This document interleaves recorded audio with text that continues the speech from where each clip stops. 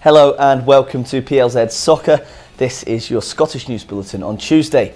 Scotland scraped past a third string Czech Republic 2 1 in Olomouc last night to top their Nations League group, but it was far from a vintage performance. Goals from Lyndon Dykes and Ryan Christie earned a victory after going behind, but the 5 2 3 formation struggled to impress again, and manager Steve Clarke said he expects criticism for the display.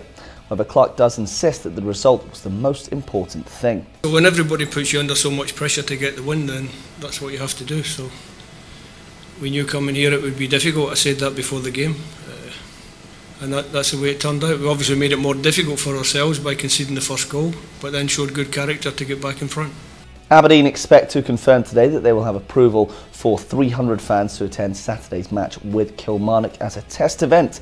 Following yesterday's meeting with government officials, both the Dons and Ross County, who are hosting Celtic, are waiting for the green light. Now, St Mirren and Rangers are both unlikely to be permitted to have any fans at all due to the return of restrictions in their areas.